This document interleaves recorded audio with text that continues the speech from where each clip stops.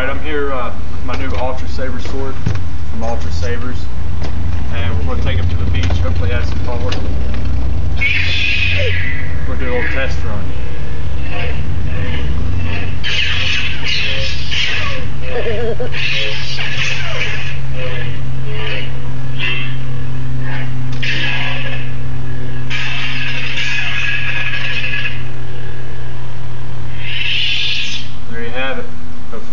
form at the Beach.